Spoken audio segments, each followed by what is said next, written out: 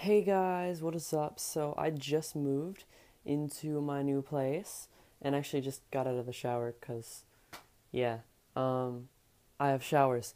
Um so yeah, here's like my bed and stuff, my room. Yeah. There's my stuff. I, st- I still have to un- unpack everything. Yeah. Um let me show you around my place. I actually ended up getting an entire house.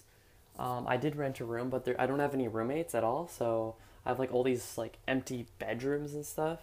And uh, this is where my like washer and dryer room is. Um, here's my uh, downstairs bathroom, and then I have an upstairs. I actually have three stories in this house that I'm kind of renting an entire house, sort of. Uh, so here's like the kitchen area. There's my uh, table from the 50s.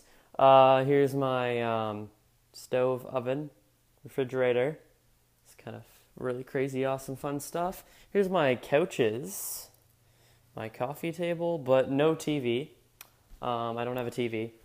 Uh, I might, I might get one. I don't know, but I have no TV. I do have internet and cable, and uh, but I don't have a TV. Yeah. So here's the upstairs part, which always creeps me out for some reason. I don't know why, but it does. Really creeps me out. Maybe because it's so empty. There's like an empty room here with these really creepy mirrors. Hi, creepy mirrors. Uh, they're giant mirrors in your bedroom. Wouldn't that be fun? Um, and here's the other room. And uh, yeah, it's empty.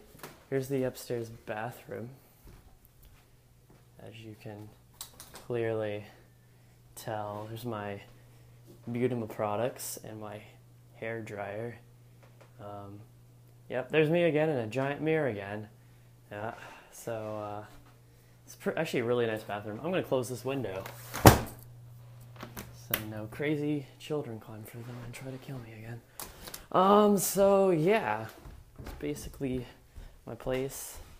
Um, yeah, so it's, it's pretty pretty nice. Uh, but yeah, this is me. I moved. Congratulations, myself. Anyways, guys, so uh, have a nice day. I am really hungry. I am going to eat because my stomach hurts. Bye, everybody.